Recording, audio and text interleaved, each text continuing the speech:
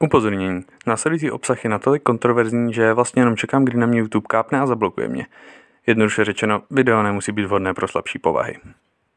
Jednou ranou do hlavy zabil nejstaršího Pak Josefa. pil její krev, u čehož se sexuálně Třem uspokojil. mladším dětem nožem podřezala krk a závěr následně se sekerou mlátil do hlavy, pak odešel na panákaru. 36 podnořezných ran. Nebojte se démonů, bojte se lidí.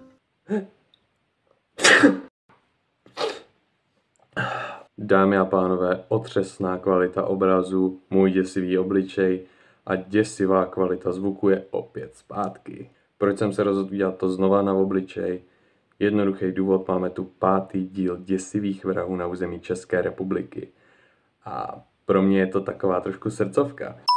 Dovolte mi trošku nostalgie, protože si dovolím říct, že když jsem natáčel první díl, tak jsem to natáčel s tím, že je to jednorázovka a že se těchto témat nechci držet. Jenže ono to mělo úspěch, oni na to lidi koukali. Tak jsem udělal ještě jedno video, tehdy to byl myslím Anatoly Moskvin, jestli se nepletu. A to pro mě měla být tečka, že už to dělat nechci, jenže ty čísla furt šly nahoru. Tak říkám, dobře, zkusím to ještě jednou. Udělal jsem druhý díl, zas to docela šlo, no a už ty témata se mě držejí doteď. V podstatě jsem přestal natáčet ty staré videa a držím se toho doteď a právě děsivý vrazy na, nechutní vrazy na území České republiky to celý odstartovali, takže pro mě je to srdcovka. Je hodně divný říct o videu, kde mluvíš o psychopatech, co zabíjejí lidi, že je to srdcovka.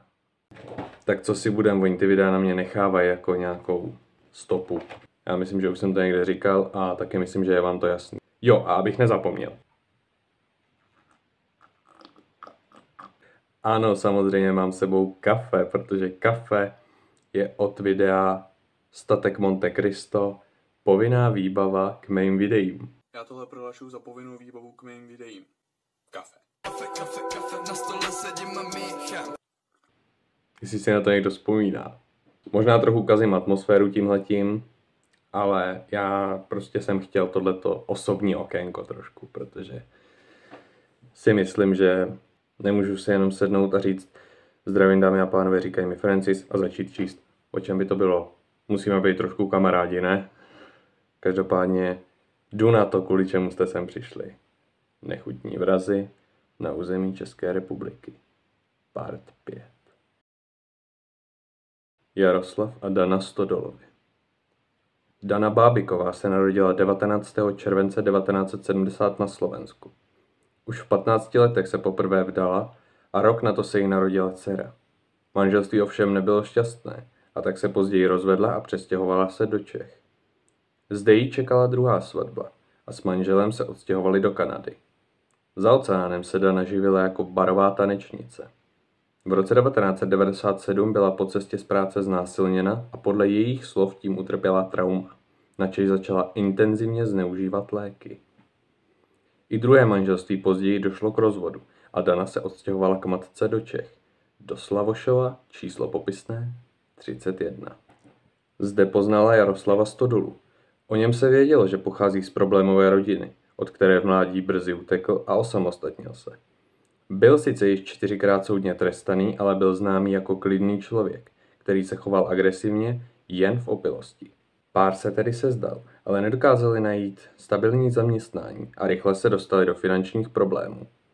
Řešení se zdálo jednoduché. Krás. 30. září 2001 se dvojice s maskami vydala do domu Aloise Miškovského. Důchodce známého tím, že půjčuje peníze. Stodolovi starce přepadli, pohrozili mu nožem a donutili ho vydat jim 160 tisíc korun českých. Následně ho svázali a nechali ho v domě. Objeven byl až o dva dny později a necelý rok poté zemřel. Pak se ale jejich plány zvrhly. 16. listopadu 2001 vytyčili plán na okradení dalšího důchodce, Stanislava Šandy. Žil ve stejné vesnici, ve Slavošově u Kutné hory. Plán zněl jednoduše. Jaroslav se s punčochou na hlavě a parukou vykrade z domu, zatímco Dana v kuchyni mluví s matkou a přesvědčuje ji, že její manžel už spí. Ten důchodce přepadne, okrade a odejde. Víme ale, jaké to je z teorií a praxí. Stodola v noci viděl Šandu, jak vyrazil do chléva. Jaroslav vnikl do domu, schoval se za závěs a když se důchodce vrátil, srazil ho k zemi. Donutil ho vydat mu 40 tisíc korun, ale při předání peněz se Šandovi povedlo strhnout maskování a Jaroslava Stodolu poznal. Ten dostal strach, vrhl se na starce a rukama ho uškrtil. Tělo následně uložil do postele, přikryl ho peřinou a rozmístil po domku svíčky. Když pak odcházel z kořistí, od svíček vypukl požár, který museli likvidovat hasiči, což vedlo ke zničení spousty stop, po obuvi, pachové a tak dále. Později se zjistilo, že kromě 40 tisíc si Stodola odnesl i elektrickou vrtačku, dvě vkladní knížky s celkovým vkladem 54 tisíc, cibulové hodiny, několik masových konzerv, skleněnou dózu a 4 litry vína. Pak navíc zasáhlo, říkejme tomu, štěstí pro vraha. Lékař konstatoval smrt způsobenou uhořením s poznámkou nejspíš sebevražda a nařídil pitvu. Ta proběhla na oddělení patologie nemocnice v Pardubicích.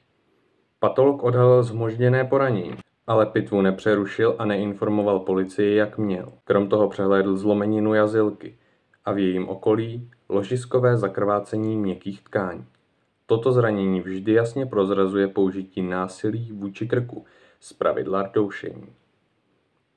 Navíc o Šandovi se vědělo, že po smrti své ženy prohlašoval, že má problémy se syny týkající se majetku rodiny a proto raději vše zapálí.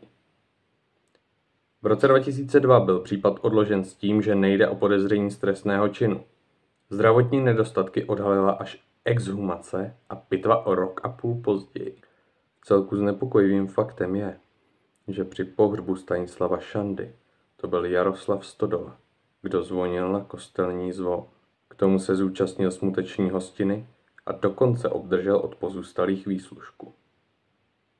Každopádně pár začal schánět další oběť. Oba dva dobře znali ženu, která bydlela hned vedle Stanislava Šandy v rodinném domku. Růženu s Kohoutilovou. Věděli, že nosí šperky, tudíž věřili, že má v domě ukryty i peníze. 28. listopadu 2001 Manželé Stodolovi i s paní Skohoutilovou vyrazili do Kutné hory autobusem. Jaroslav do akce moc nechtěl, ale žena ho intenzivně přesvědčovala. A tak ten den ve 20 hodin vyrazili k jejímu domu.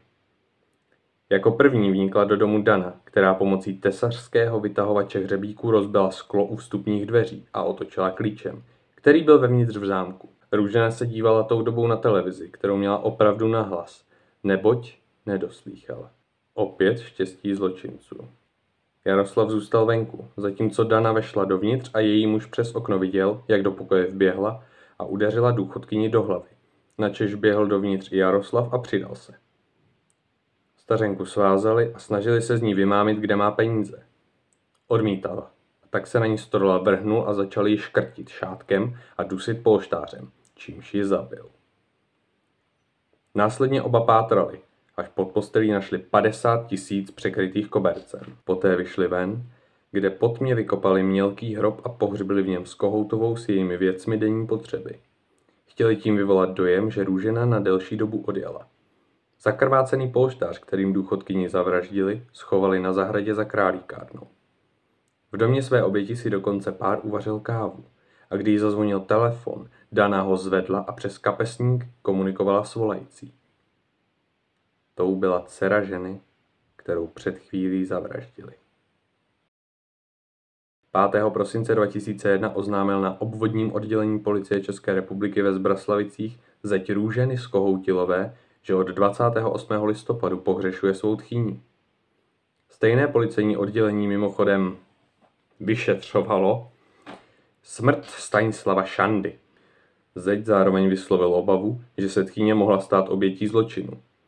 O tři dny později proběhlo ohledání jejího domu, přičemž byly nalezeny stopy připomínající krev, ale zahradě nebyla věnována žádná pozornost a tak si nikdo nevšiml čerstvé hlíny navrstvené na těle zavražděné. Poslední zaznamenaný výskyt důchodkyně měla policie potvrzený v autobuse do Kutné hory od školáků, kteří jeli s ní do školy ve Zbraslavicích. A dokonce i samotní manželé Stodolovi tohle potvrdili.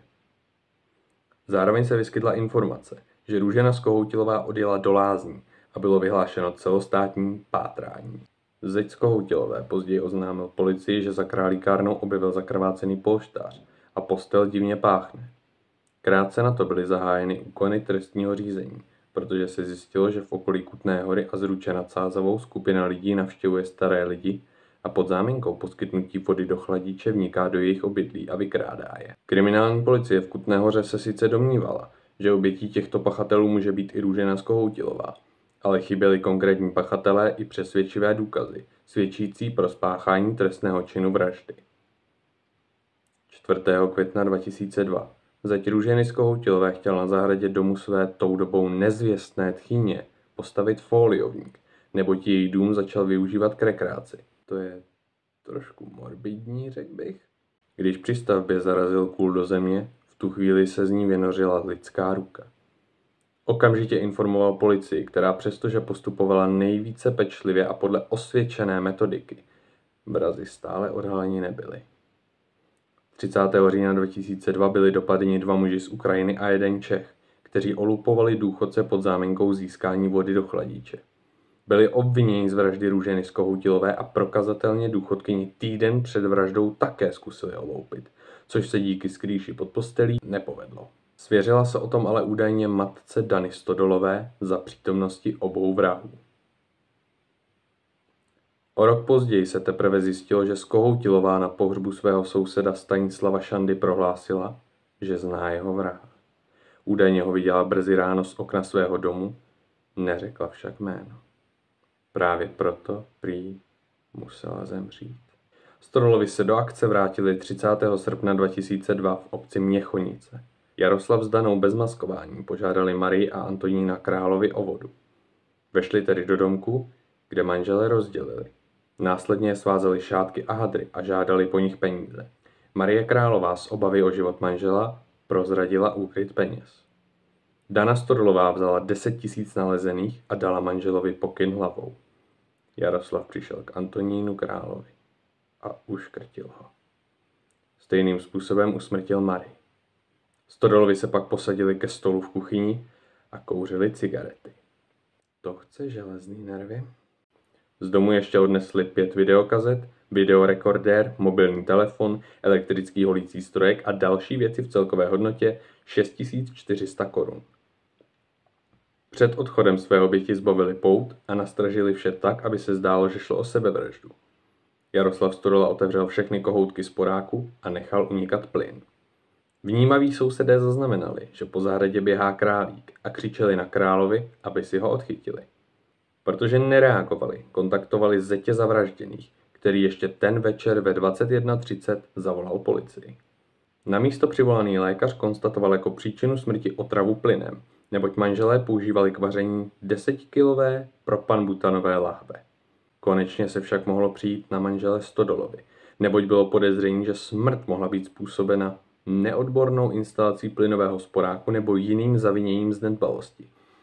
Proto byly zahájeny úkony trestního řízení ve věci podezření z trestného činu ublížení na zdraví z nedbalosti. A policejní komisař nařídil soudní pitvu a vyžádal si posudek znalců pro plynová zařízení. Po pitvě znalci nezjistili žádná poranění ani známky násilí, přestože museli být v krční krajině obou zavražděných patrny stopy poškrcení. K tomu skoro dva metry vysoký Jaroslav Stodola při škrcení Antonína Krále spolu s jeho bránící se obětí upadl na zem. Konečnou fází smrti mělo být akutní selhání srdeční činnosti a otok mozkové tkáně v důsledku zadušení v prostředí s výrazným nedostatkem kyslíku. Posudek znalců pro plynová zařízení také mluvil o tom, že zjednodušeně řečeno nebylo možné, aby plyn vyplnil obě místnosti, kde byly manželé nalezení a závadu na instalaci plynového zařízení také vylučoval. Navíc vyšetřující policisté se dopustili neomluvitelné chyby. A sice, že nevěnovali žádnou pozornost chybějícím věcem, které vrazy odcizili. Nález nedopalků cigaret, ještě k tomu v domě nekuřáků, se považuje za podezřelý a tak policie nedopalky zajistila, ale na expertízu je už neposlala. Přes tohle všechno byl případ 31. prosince 2002 odložen s tím, že se nejedná o podezření z trestného činu. Od vraždy manželů Králových uplynulo 15 dní. Je tedy 14. září 2002 a Dana Stodolová se bez informování manžela vydává na samostatnou akci. Zcela náhodně vystoupila z vlaku v Jindřichově Hradci a ptala se náhodných kolem jdoucích po možnosti ubytování v soukromí. Byla jí doporučena Kardašova řečice. Zde se dostala k vilce paní Čondlové, která pronajímala pokoje turistům ke krátkodobým pobytům. Stodolová ji obelhala příběhem o tom, že je z Prahy, původně jí zničili byt a v Kardašově řečici se má setkat se svou sestrou.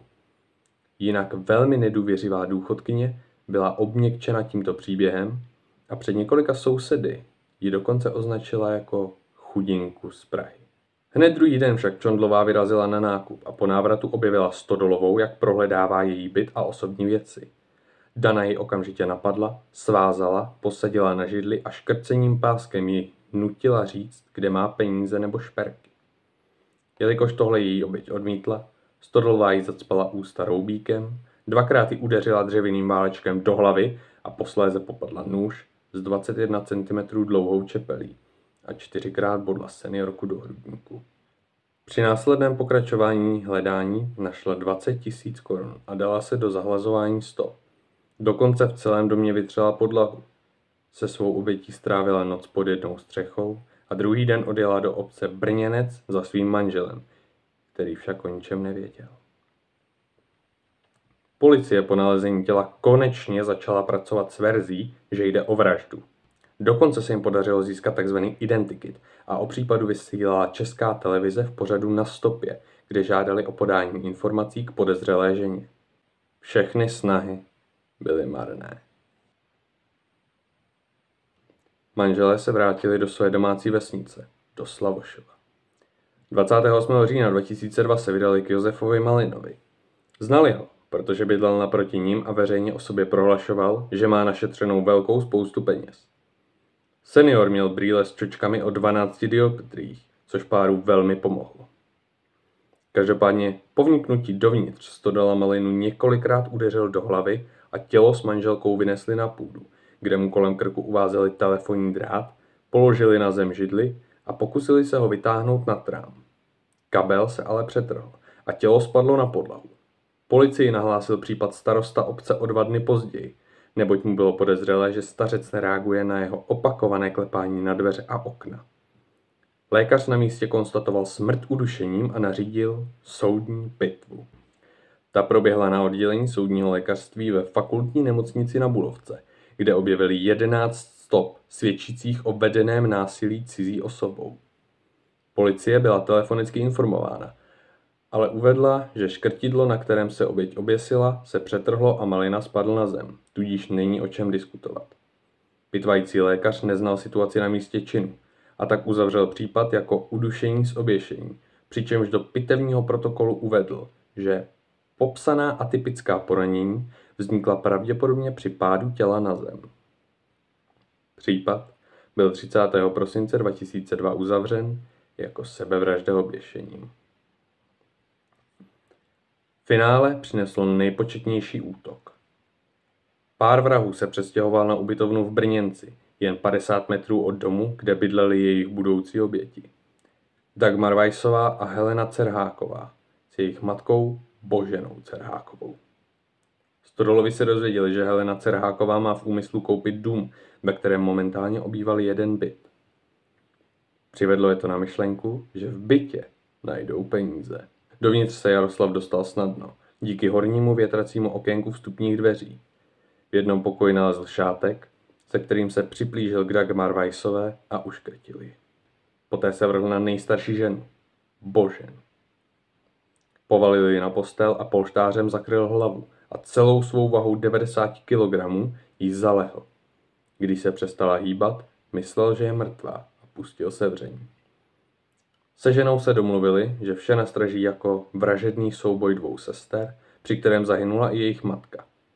Odtáhli tedy poslední živou Helenu do koupelny, kde ji donutili vlézt do vany. Když Stodola začal napouštět vodu, 52-letá Helena se začala bránit. Jaroslav ji popadl za krk a držel, dokud se nepřestala hýbat. Dana z kuchyně přinesla nůž a její manžel oběti podřízl žíly na zápěstí, aby vše vypadalo jako sebevražda. Z místa činu odcházeli s deseti tisíci a třemi vkladními knížkami. Ještě ten den v Kutné hoře z vkladních knížek vybrali finanční hotovost v celkové výši 39 500. Když však dorazila policie, zjistili, že 92-letá Božena jako zázrakem přežila a byla bleskem převezena do nemocnice.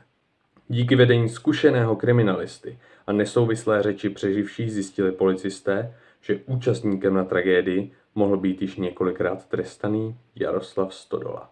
Ten však odjel se svou ženou do Kutné hory. Hned jak se vrátili, kriminalisté se vydali za Jaroslavem. Nejen, že byl překvapivě vstřícný, ale jako první vyslovil domněnku, že ženy byly zavražděny. Zatímco všeobecně skutečně vládl míněný názor o nevraživosti sester. Jelikož ale chyběly výsledky některých expertíz a tím pádem i důkazy, Stodola zůstal na svobodě. Druhý den však v podnapilém stavu napadl svého mistra v zaměstnání a později napadl i policisty, kteří ohledávali koryto říčky nedaleko místa činu. Ze záznamu také vyplynulo, že se k policistům a kriminalistům choval vždy arrogantně a odmítavě. Tehdy už podle svých slov byl ve špatném psychickém stavu. Uplynulo devět dní od vraždy v Brněnci, když se Jaroslav Stodola pokusil o sebevraždu. Spolikal přes 200 kusů různých prášků, sedativa, hypnotika, antidepresiva. Byl převezen do nemocnice ve Svitavech, kde zjistili, že množství látek v jeho krvi se dá považovat za smrtelné. I tak přežil. Prohlásil, že nemohl dál a bál se prozrazení. Prášky vzal ženě, která na nich byla závislá. Zvrat nastal 3. února 2002, kdy před osamělým domkem mezi obcemi Dolní Pohleď a Horka se Dana Stodolová složila k zemi a Jaroslav žádal majitele domku Josefa Peroutku o vodu s tvrzením, že se jeho manželce udělalo nevolno, protože je v jiném stavu. Jakmile Josef vodu přinesl, vytáhl stodola nůž a donutil seniora jít do sklepa, zatímco stále žádal peníze.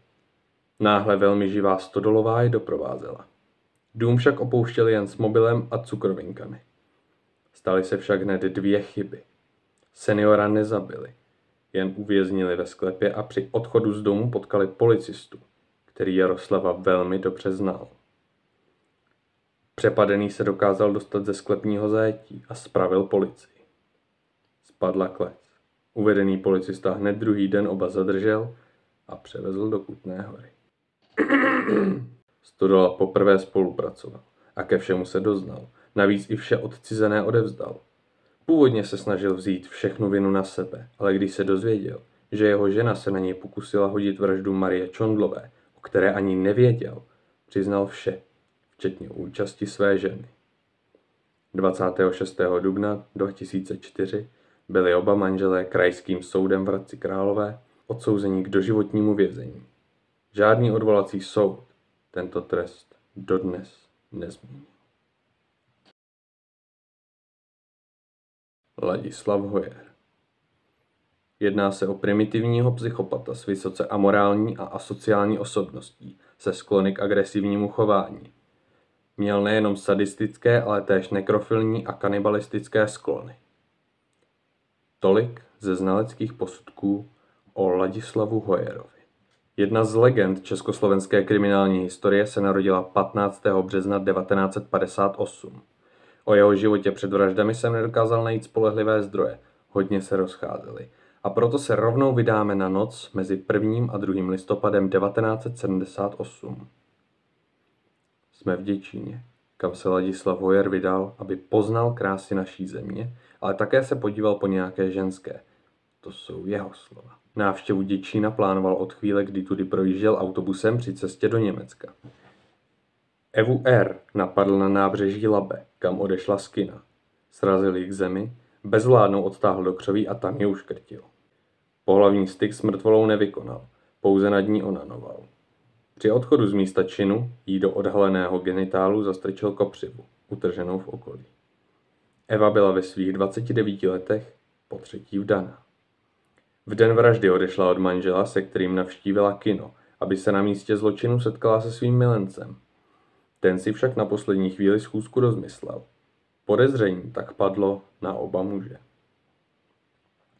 Při vyšetřování byly zjištěni další milenci, mezi kterými došlo ke křivému obvinování. Podobně jako v několika následujících případech, i nyní se objevil člověk, který se k vraždě doznal, aby na sebe upoutal pozornost.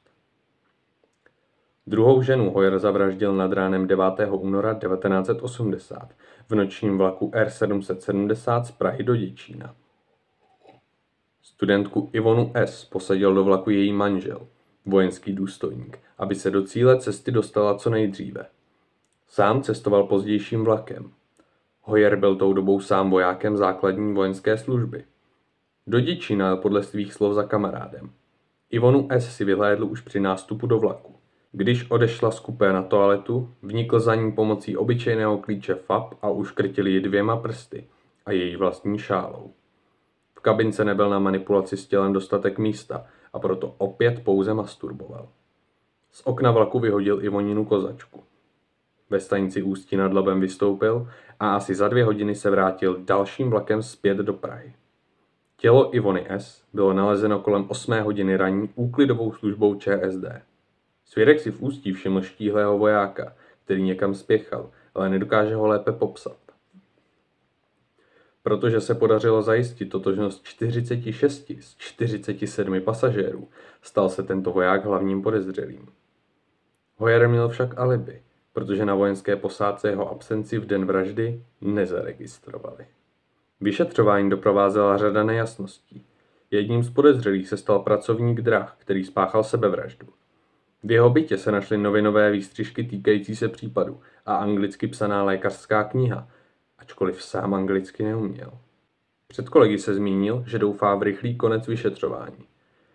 Dalším podezřelým byl vzdálený příbuzný zavražděné, který, ačkoliv se skoro neznali, se na jejím pohřbu zhroutil a spáchal sebevraždu. Ztracená igelitová taška s Ivoniným oblečením se nikdy nenašla. Ve své době se jednalo o silně medializovaný případ. V srpnu 1980 opět během své vojenské dovolené jel Hojar navštívit kamaráda, tentokrát do Košic. Rozhodl se pro vycházku k Ružínské nádrži, která patřila k vyhledávaným rekreačním lokalitám. Kvůli nepřízní počasí však bylo místo opuštěné. Na břehu si pouze všiml osamělé ženy, která pozorovala přehradu. Na rozdíl od jiných svých útoků se tentokrát Hoyer ani nepokusil o navázání hovoru a ženu zezadu okamžitě napadl. Při jejím škrcení u něj však došlo k předčasné ejakulaci, čímž o ní ztratil zájem. Její mrtvolu svázel nalezeným drátem, zatížil ji kamenem a odtáhl do vody. Po činu si v nádrži ještě zaplaval. Tělo bylo objeveno chataři až 11. října 1981, již ve značném stádiu rozkladu. Hlava a zápěstí byly nenásilně odděleny od těla. Podle oděvu značky Triola se jednalo o československou státní příslušnici ve věku 25 až 35 let. Žena v minulosti neprodělala žádnou operaci ani významnější zranění, což znemožnilo využití lékařských záznamů k identifikaci. Více informací se i kvůli liknavosti slovenských vyšetřovatelů zjistit nepodařilo a totožnost této ženy je dodnes neznámá. 30. ledna 1981 ráno přijel Hojar vlakem do Brna a celý den se procházel po městě. Až kolem třetí hodiny raní narazil na tramvajové zastávce na atraktivní 18-letou Ivanu M., která se vracela z plesu místní zoo. Pokusil se s ním mluvit, ale Ivana se dala na útěk. Hoyer ji dohonil, strhl na zem a odtáhl do parčíku, kde se jí pokusil znásilnit. Pobodal ji a nakonec i uškrtil. Poté ji štěpařským nožem odřízl prsy a genitál, které si odvezl v igelitové tašce domů. Tam prsa položil na desku stolu, penis zastrčil do genitálu, který předem oholil a z ostatky se ukájel. Asi po týdnu je uvařil v osolené vodě a pokusil se část sníst s ďábelskou hořčicí a křenem. Pokrm mu však údajně nechutnal a proto vše spláchl do záchodu a hrnec vyhodil. Na těle oběti bylo při ohledání nalezeno 39 bodných rán povrchního charakteru. Na místě činu nechal Ladislav bez povšimnutí peněženku, šperky i hodinky zavražděné. Mezi první podezřelé patřila početná řecká komunita, se kterou se Ivana často stýkala. K vraždě se v dopise na rozloučenou doznal student z Jordánska, předtím, než se neúspěšně pokusil spáchat sebevraždu. Později uvedl, že se k vraždě doznal, aby odvrátil pozornost od svých studijních neúspěchů, čímž by pošpinil pověst rodiny víc než vraždou. Žijeme v pošáném světě, ale jako vážně. Poslední vraždu Hoyer spáchal 3. října 1981 po 22. hodině, nedaleko svého bydliště, u můstku přes Motolský potok v Praze 5. Číhal zde na nějakou oběť, minimálně hodinu, až kolem procházela 51-letá Anna Eš, vracející se z večerního koncertu. Kvůli její dobré postavě ji považoval za mladší a rozhodl se, že ji přemluví k pohlavnímu styku. Rozhovor se omezil na čtyři věty, poté ženu napadl, rozřízl jí nožem šaty a punčochy a znásilnil ji. Nakonec jí přetáhl punčochu přes hlavu a uškrtil ji, aby ho nemohla identifikovat. Přes hlavu jí při odchodu přehodil kabát, takže nikdo, kromě vraha a kriminalistů, neznal příčinu smrti. Její výkřik slyšelo velké množství svědků, ale nikdo si ho nespojil s násilným útokem. Tělo objevil náhodný svědek, který chtěl ve křoví vykonat potřebu. Tato jediná vražda Hojera znepokojovala. Odehrála se asi 300 metrů od jeho bydliště a chodil tudy do zaměstnání ve sklenářské dílně. Obával se, že si na něm lidé něčeho všimnou a tím se prozradí. K vraždě se tedy několikrát doznal ve své oblíbené hospodě, ale nikdo ho nebral vážně. Jen šťastnou náhodou jeho útok přežila mladá dívka, kterou přepadl na tramvajové zastávce, kde seděla opilá na obrubníku. Odvlekl ji do nedalekého parčíku, kde ji svlékl do náha a pokusil se jí znásilnit. Při souloži měl však problém s erekcí a proto ji alespoň přinutil k orálnímu sexu, při kterém ji zbyl. Také jí strkal do přirození různé předměty a žádal ji, aby si tam strčila ruku. Celou dobu jí zakrýval ústa a tlačil na krk, takže několikrát ztratila vědomí. Dívce se podařilo Hojera přesvědčit, aby pokračovali u ní doma, kde je nebude nikdo rušit. Požádala ho, aby ji oblékl, protože nemůže jít po ulici nahá. Hojer ji proto pustil a navlékl jí šaty. Dívka se mu však vytrhla a rozbila se po ulici pryč. Ladislav ji dostihl. Srazil na zem a poté jí hlavou několikrát udeřil o chodník. Její křik zaslechl policista, který se náhodou vyklonil z okna a útočníka okřikl slovy Necháš ji! Hoyer se zraněné dívce ještě posmíval a poté utekl. Zatčen byl na základě výpovědi duševně nemocného pacienta, který se přiznal k vraždě Anny Ash. Avšak vyšetřováním bylo zjištěno, že v době činu byl bezpečně za mřížemi. Věděl však, jakým způsobem byla zavražděna, což byla, jak jsme si řekli, dosud nezveřejněná informace. Muž nakonec vypověděl, že mu kamarád na procházce ukazoval místo činu a vyprávěl, jak zde byla Anna zabita. Tím kamarádem byl Ladislav Hoyer. Ten se při výslechu k této vraždě přiznal. Později byly zjištěny částečky látky z jeho kalhot na oděvu zavražděné a naopak. A jeho krevní skupina se shodovala se vzorky slin a spermatu zajištěnými na místě činu. Hoyer také označil mezi svými věcmi nůž, který použil k rozřezání oděvu obětí. Během roku 1982 se přiznal k dalším vraždám. Jejich výčet se zastavil na čísle 5. Kriminalisté se domnívali, že má na svědomí minimálně ještě další dvě vraždy, ke kterým se však nepřiznal. Přiznání prováděl výlučně písemně, protože se za některé ze svých skutků styděl a odmítal o nich s kýmkoliv mluvit. Za své brutální činy byl odsouzen k trestu smrti. Své doznání jednou stáhl. Ačkoliv stále existovala možnost, že byl pachatelem dalších trestných činů, existovala obava, že se pokusí zmást vyšetřovatele falešnými přiznáními a proto bylo vyšetřování brzy uzavřeno. Poprava musela být kvůli jeho nemoci dvakrát odložena.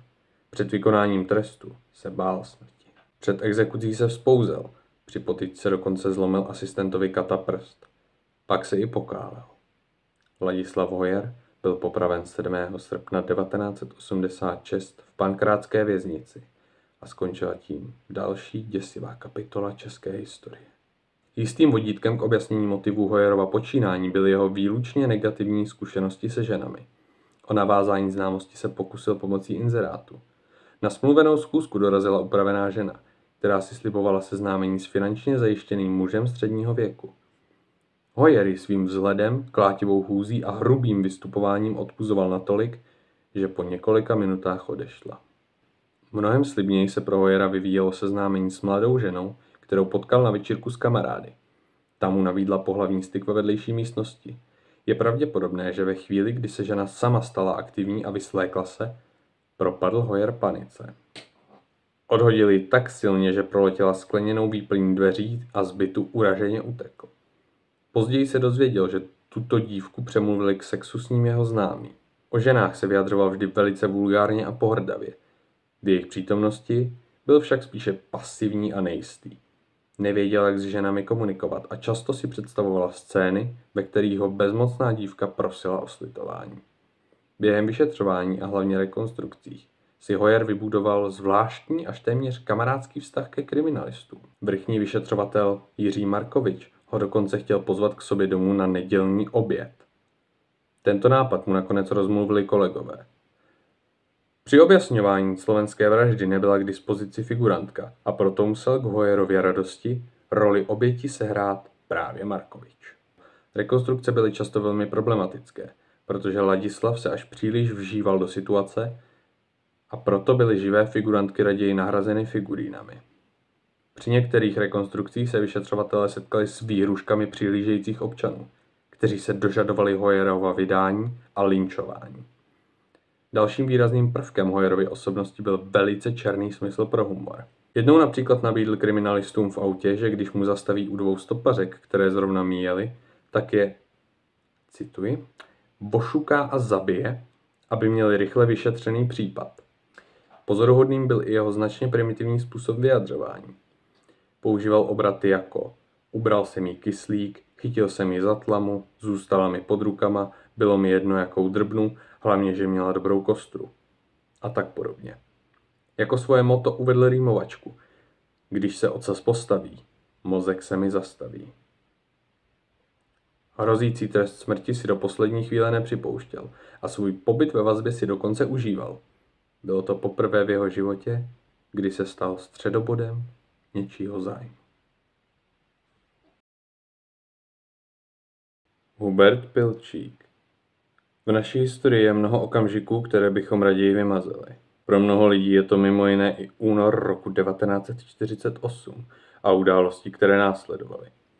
Nešlo přitom jen o samotné převzetí moci komunisty, ale i o doprovodné události, které více či méně poznamenaly každého z tehdejších Čechů. Jedni se přizpůsobili, jiní se třeba i radovali, ale bylo mnoho těch, kteří se s danou situací rozhodně nechtěli a ani nemohli smířit. A tak se rozhodli pro emigraci. Jenže ani odchod z Československa nebyl jednoduchý. Legálně to nešlo. A taky s tou nadějí někteří lidé viděli v tajném přechodu státní hranice. Jak všichni víme, šlo o hranici pečlivě hlídanou a mnozí pokus o její překročení zaplatili životem. Na situaci, která po únoru nastala, založili svoji v úvozovkách živnost i tzv. převaděči, kteří většinou z dobré vůle pomoci ukazovali lidem bezpečnější cestu ze země. Ti, kteří se do jejich péče svěřili, pak byli zcela odevzdáni jejich znalostem místních poměrů a odhadu, kdy a kde je možné se k přechodu hranice odhodlat. Bohužel se ale mezi nimi našli i tací, kteří buď spolupracovali s režimem a nešťastníky, kteří se pokusili o útěk, zavedli přímo do rukou pohraničníků. Ještě krutější osud pak ale čekal klienty Huberta Pilčíka, který v Plzni a okolí nabízel svoje služby při ilegálním přechodu hranice. Důvěřiví a nešťastní lidé ale v hraničních lesích místo vytoužené svobody nalezli jen krutou a nesmyslnou smrt. Kolik jich rukou Huberta Pilčíka přišlo o život, se nikdy nepodařilo přesně určit. Hlavní aktér tohoto příběhu se narodil 14. října 1891 v Novém Hrozenkově. Později pracoval u Škodovských závodů v Plzni jako zámečník a oženil se s o 11 let mladší Antonií. Toto manželství zůstalo bezdětné. Spolu bydleli v rodinném domku v Senci, kde měl velmi dobrou pověst. Byl známý jako bylinkář a milovník přírody. Často vyprávěl, že přežil potopení Titaniku. Kromě toho, o čem budeme mluvit, také prokazatelně loupil v domech sousedů, na což se přišlo až po jeho zadržení. Doma měl malý zbrojní arzenál, do níž patřil anglický samopal Sten, rakouská pistole značky Rothsteyr ráže 8 mm, československá pistole CZ ráže 7,65 mm, anglický revolver, německý výsadkářský nůž s vysouvací čepelí a obušek s kovovým jádrem. Jak jsem už však zmínil, přivydělával si jako převaděč přes státní hranici do Německa.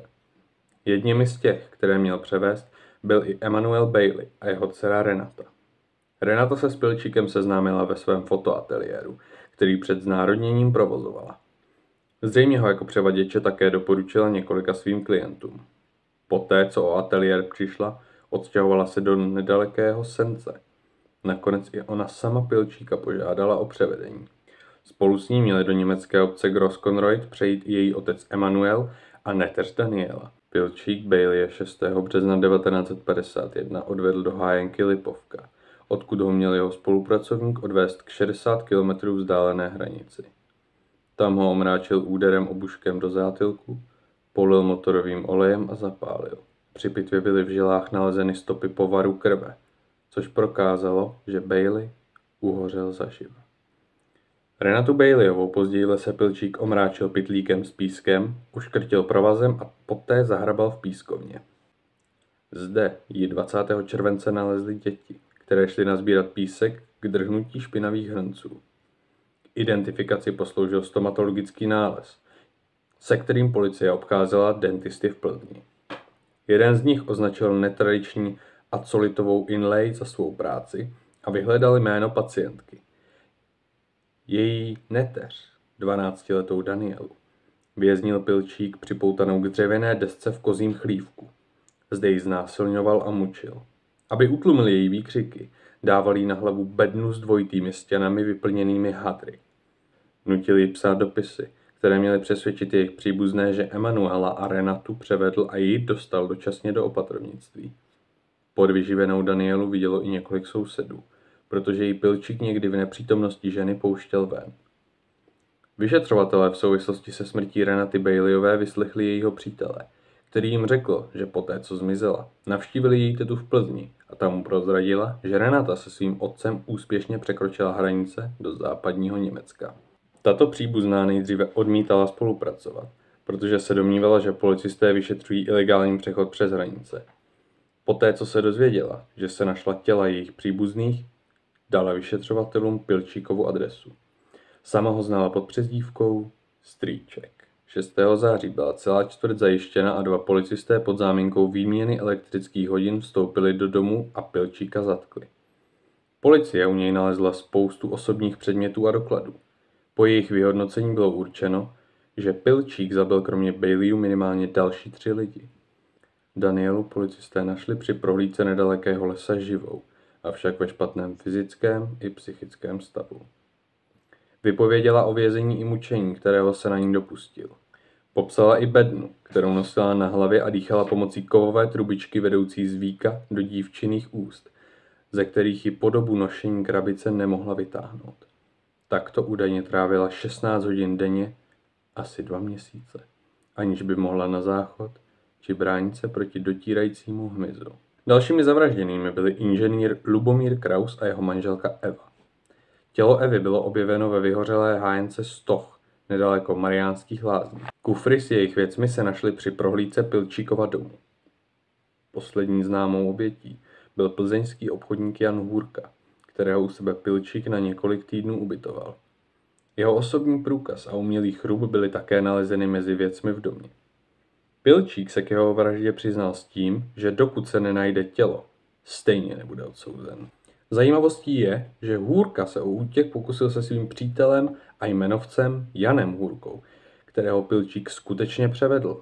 Na rozdíl od zavražděného Hůrky byl totiž nemajetný a nebylo ho o co okrást. Pilčík byl obviněn z pětinásobné vraždy, všeobecného ohrožení, napomáhání nelegálnímu útěku, nedovoleného ozbrojování, znásilnění, omezování osobní svobody, týrání svěřené osoby, ohrožení mravní výchovy mládeže, podvodu a krádeže. S vyšetřovateli nespolupracoval. Doznával se k vraždám, které se nikdy nestaly. Naopak o Karouzových prohlásil, že žijí v zahraničí, což nemohla být vzhledem k nálezu těla Evy pravda. K procesu s Pilčíkem nakonec nedošlo, protože 9. září 1951 spáchal ve své celé sebevraždu. Oběsil se na opráce vyrobené ze dvou kapesníků. Není však bez zajímavostí, že údajně měl na toto datum v plánu zabít svou otrokyni Danielu, její příbuznou a svou manželku. Ta po dlouhém zapírání nakonec přiznala, že věděla, co manžel dělá, ale strach jí nedovolil mluvit. Za podíl na převádění jí byl zabaven majetek a byla odsouzena k pětiletému trestu. Ten si odpikala a od té doby je její osud neznámý. Pár zajímavostí nakonec. Pilčíkova hlava je uložena v Plzeňském ústavu soudního lékařství. Případ inspiroval také epizodu Bestie seriálu 30 případů majora Zemana a film Kráska a netvor 1950 z roku 2010.